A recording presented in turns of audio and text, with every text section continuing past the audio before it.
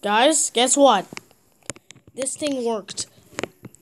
Um, what I done is I told my mom when she came home from the shop that my switch froze, and now it's working now. What you have to do?